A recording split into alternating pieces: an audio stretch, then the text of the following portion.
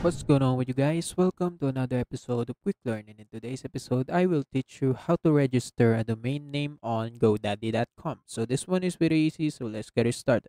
So first, go to GoDaddy website and log into a account. And after you log into your account, you can just search for a domain name that you want. So for me, I'm just going to search hard work. Okay, just click search. And right there, there will be a list of hard work domains that I can buy. So I'm just I'm just going to choose and after choosing you can just click the cart icon right here on the right side. As you can see on the screen just click that. And after clicking it just click continue. Then it will redirect you to this page. Just wait.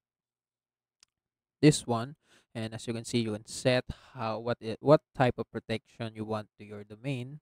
So me i'm just going to stay on free privacy protection. Also you can set up a professional email and after that just click continue to cart. And after clicking continue to cart right there you will now to provide the wait i can set how long i can have this domain. So i'm just going to have it for one year and i'm just going to add my payment method and address. So i'm just going to put a random address and after that just going to add my payment method. And after adding your payment method right here, just click continue purchase.